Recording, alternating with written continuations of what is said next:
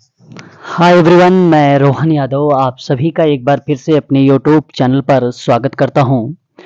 आज मैं आप लोगों से डिस्कस करने वाला हूँ D triple S B E S I C और एम्स मेडिकल सोशल वर्क के सिलेबस पर। हालाँकि आप सभी को पता है कि मैं अपने यूट्यूब चैनल पर समाज कार्य के संबंध में संपूर्ण जानकारी प्रोवाइड कराता हूँ। आज मैं बातचीत करने वाला हूँ आपसे इसमें डी ट्रिपल एस बी के सिलेबस पर। हालाँकि मैं दो वीडियोस आप लोगों को प्रोवाइड कराऊँगा और आज का जो ये वीडियोस अभी मैं प्रोवाइड करा रहा हूँ, ये डी ट्रिपल एस बी के सिलेबस पर, उसके बाद आपका ई एस आई सी के मेडिकल सोशल वर्क और उसके बाद एम्स मेडिकल सोशल वर्क के सिलेबस पर मैं आप लोगों से डिस्कस करूँगा।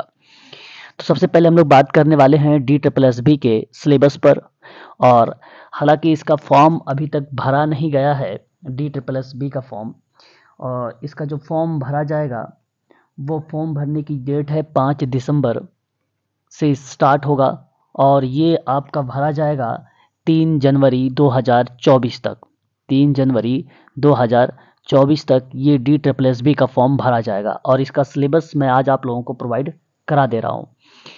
आपको बता दूँ कि इसमें बेसिकली दो पार्ट पर आधारित होगा ये इसके जो क्वेश्चंस पेपर बनाए जाएँगे।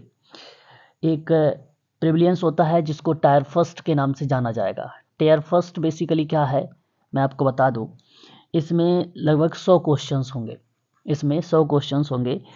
बीस क्वेश्चंस जो पूछे जाएँगे mental ability and reasoning ability से और बीस क्वेश्चंस पूछे जाएँगे जनरल अवेयरनेस से। ठीक है, ये ट्वेंटी ट्वेंटी क्वेश्चंस होंगे। और English language English language comprehension से ट्वेंटी क्वेश्चंस रहेंगे। और हिंदी लैंग्वेज कॉम्प्रिहेंसन से ट्वेंटी क्वेश्चंस रहेंगे। और निमोरिकल एप्टीट्यूड निमोरिकल अगर हम बात करें तो एप्टीट्यूड से लगभग ट्वेंटी क्वेश्चंस रहेंगे। ये तो पार्ट फ़र्स्ट का सिलेबस है, ये कॉमन सिलेबस है, ये सबको पता होगा। यहाँ तक इसमें इस बार डीआई को भी डाला गया है डाटा इंटरप्रिटेशन को भी डाला गया है, ठीक है? तो ये हंड्रेड क्वेश्चन आपको यहाँ पे देखने को मिलेंगे पार्ट वन में। लेकिन जब हम बात करते हैं पार्ट टू पर तो आप लोग को ध्यान रखना है कि इसमें लगभग हालाँकि दस यूनिट हैं। मैं आपकी जो क्लासेस स्टार्ट कर रहा हूँ, आपको एक चीज़ और बता दूँ कि ये समाजकारी में ऑनलाइन क्लासेस आज जो है 25 नवंबर है। 25 नवंबर के दिन से शाम को 8:30 से लेकर 9:30 आपकी एम्स और ई एस आई सी और साथ ही साथ डी ट्रिपल एस बी ठीक है डी ट्रिपल एस बी इनकी क्लासेस जो है स्टार्ट हो रही है। हालाँकि एम्स का तो एग्ज़ाम है 18 दिसंबर को, ठीक है तो उसके बाद जो क्लासेस चलाई जाएँगी, वो ई एस आई पर होगा और डी ट्रिपल एस बी पर होगा। सिलेबस के आधार पर ही क्लासेस चलाई जाएँगी आप लोगों की, ठीक है। तो क्लास का समय आप याद रखिएगा, शाम को चलाई जाएँगी। हालाँकि आज 25 तारीख है क्लासेज आज से ही स्टार्ट हो रही है, परंतु वो क्लासेस जो स्टार्ट हो रही हैं, वो मॉक टेस्ट से स्टार्ट की जा रही हैं। प्रश्न से ही स्टार्ट किए जा रहे हैं क्लासेस सबकी। ठीक है? और इसकी फ़ीस जो रखी गई है, अगर आप इस क्लास को परचेज़ करना चाहते हैं तो पैंतीस सौ रुपये में आपको ये क्लासेस प्रोवाइड कराई जा रही हैं। ई एस आई सी की और डी ट्रिपल एस बी की। एम्स की क्लासेस की जो फ़ीस है, वो मात्र पंद्रह सौ रुपये है। इन क्लासेस में मिलेंगे क्या क्या ई एस आई सी में डी ट्रिपल एस बी में तो आपको बता दूँ वीडियोज़ रिकॉर्डेड मिलेंगे लाइव क्लासेस आपको डेली के मिलेंगे प्लस में आपको पीडीएफ जो मिलेंगे, वो आप लोगों के यूनिट के क्रम में मिलेंगे। सारे कंटेंट आपको इसमें जो है दिए जा रहे हैं पैंतीस सौ रुपये में, ठीक है? तो याद रखिएगा, ये सिलेबस के आधार पे क्लासेस आप सबके चलेंगे। यदि आप समाजकारी में अधिक जानकारी लेना चाहते हैं तो इसके लिए आप यहाँ पे नंबर दिया गया है eight five zero six zero three one three zero eight पर आप हमसे संपर्क भी कर सकते हैं। ठीक है तो चलिए एक बार मैं सिलेबस पर डिस्कस कर लूँ देखिए इसमें basically D triple S B का जो सिलेबस है सोशल वर्क का सोशल वर्क का ठीक है याद रखिएगा आप सभी लोग इससे लगभग 200 क्वेश्चंस पूछे जाएँगे 200 क्वेश्चंस बहुत होते हैं तीन घंटे का समय होगा सौ क्वेश्चंस आपके फ़र्स्ट ईयर से हैं यानी फ़र्स्ट पार्ट से हैं और 200 क्वेश्चन सेकंड पार्ट से हैं आपके सब्जेक्ट से हैं इसमें आपको तीन सब्जेक्ट को ध्यान रखना होगा एक आपको सोशल वर्क को ध्यान में रखना होगा, दूसरा आपको सोशोलॉजी को ध्यान में रखना होगा, तीसरा आपको अपराध शास्त्र को ध्यान में रखना होगा। तीनों से ही आप लोगों से क्वेश्चन पूछे जाएँगे। मैंने उसके आधार पर ही सिलेबस बनाए हैं। हालाँकि ये सिलेबस डी ट्रिपल आयोग डी ट्रिपल एस बी के आयोग के द्वारा ही निर्धारित किए गए हैं, उन्हीं के आधार पर मैं आप लोगों को ये प्रोवाइड करा रहा हूँ। इसकी पीडीएफ आपके जो ग्रुप बनाए गए हैं डी ट्रिपल एस बी के, जो बच्चे अभी परचेज करके क्लास में ज्वाइन हैं जो बच्चे ई एस आई के हैं, उन बच्चों को ये प्रोवाइड कराया जाएगा। अपराध शास्त्र और समाज कार्य की न्यू, ये पहला यूनिट है। मानव विकास और सामाजिक न्याय, ये दूसरा यूनिट है। श्रम कल्याण और सामुदायिक विकास, तीसरा यूनिट है। स्वास्थ्य एवं शिक्षा, चौथा यूनिट है। पांचवा सामाजिक अनुसंधान है। छठा अपराध विज्ञान और कानूनी अवधारणाएँ हैं। सातवां सामाजिक गतिशीलता और जाति व्यवस्था से है। आठवां सामाजिक व्यवस्था एवं संस्थाएँ से है। नौवां सामाजिक परिवर्तन और आंदोलन से है। ठीक है। इसमें एक पॉइंट यहाँ अगर हम बात करें तो वह यूनिट बनेगा टेन और वो रिलेट कराएगा पर्यावरण से। वो रिलेट होगा इन्वायरमेंट से, ठीक है? तो यहाँ टेन यूनिट हैं और टेन यूनिट से लगभग दो सौ क्वेश्चन हैं। तो आप सोच लीजिए कि आप लोगों के यहाँ पे तीनों टॉपिक कवर है। समाज शास्त्र भी कवर है समाज कार्य भी कवर है और साथ ही साथ अपराध विज्ञान यानी अपराध शास्त्र भी यहाँ पे कवर किया गया है, ठीक है, इस सिलेबस में। अब देखिए इसके अंदर भी कुछ चीज़ें पूछी जाएँगी। ठीक है? इन सब पर मैं आप लोगों से बात करूँ देखिए, यहाँ पे इंग्लिश में ये सिलेबस दिया गया है। मैं आप लोगों को भी प्रोवाइड करा दूँगा। आप लोग इसको देख लीजिएगा सभी लोग अच्छे से। ठीक है?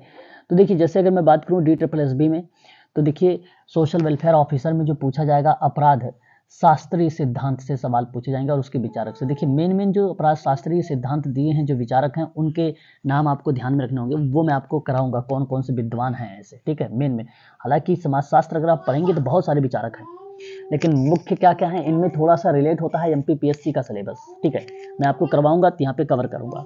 फिर अगर हम बात करें राज्य और राज राजनीति, अर्थव्यवस्था और शासन, समुदायों के साथ समाज कार्य, व्यक्तियों के साथ समाज कार्य, समूह के साथ समाज कार्य, यानी आप ध्यान से देख सकते हो case work group work community work ये तीनों चीज़ों से समाज कार्य की जो बेसिक अवधारणा होगी, वो पूछी जाएगी। वहीं अगर हम लोग बात करते हैं मानव विकास शास्त्र के साथ साथ देखिए साइकोलॉजी को भी रिलेट कराया गया है इस टॉपिक में। मानव विकास सिद्धांत है, किशोर अवस्था की विशेषताएँ हैं, बाल एवं परिवार कल्याण है, लिंग और विकास है, सामाजिक न्याय और अधिकार है। ये भी आप लोगों से प्रश्न में जो है पूछे जाएँगे सेकेंड यूनिट को रिलेट कराया है। वहीं अगर हम बात करते हैं थर्ड को लेकर तो सामाजिक विकास, स्थानीय स्वशासन निकाय, ग्रामीण विकास कार्यक्रम, कल्याण एवं विकास सेवाओं का प्रशासन, ये टॉपिक भी आप लोगों से पूछे जाएँगे। ये थर्ड यूनिट थे। वहीं अगर हम बात करते हैं स्वास्थ्य एवं मानसिक स्वास्थ्य को लेकर शिक्षा एवं कौशल विकास को लेकर, मादक द्रव्यों के सेवन की रोकथाम और उसके उपचार को लेकर शिक्षा नीति जो अभी हाल ही में चलाई गई है, नई शिक्षा नीति 2020 वाली, वो भी प्रश्न बनाएँगे।